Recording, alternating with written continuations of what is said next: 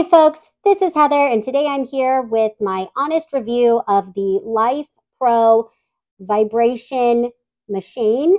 I'm going to tell you a little bit about it, show you it in action, tell you a little bit about what we've experienced with it, and hopefully that will help you make your decision.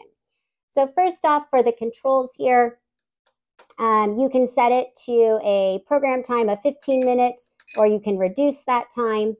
You can adjust the speed uh, higher and lower from 1 to 99.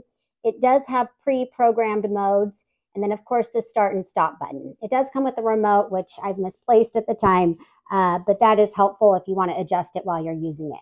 So, where you position your feet determines uh, the type of uh, impact you feel from it. So, if you have your feet close together right here, it'll simulate a walking type uh, situation move them a little bit apart, and you have a jogging uh, situation. And then uh, all the way on the end, it gives you the impact of, it gives you the feeling and benefits without the impact, um, like you're running.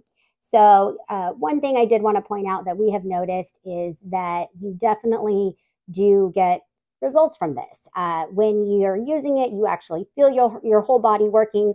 Your core is uh, engaged. It just uh, kind of ends up that way while it, while, while the machine is working. And uh, we've really noticed some some benefits physically from that, and just uh, getting uh, some movement and exercise in instead of uh, just standing around all day. So now I will show you it in action and a little bit about the different settings that it offers. Feet are wide like that. It simulates running. As you move them closer together, it's like jogging or walking. Here it is on its lowest setting of one, and you can see it's jiggling slowly, but there's still a lot of movement in the body uh, that it's making happen. This is up to a level 30. And now we'll take it up to the highest, which is uh, 99, I believe it goes up to. Uh, this is the fastest that it goes.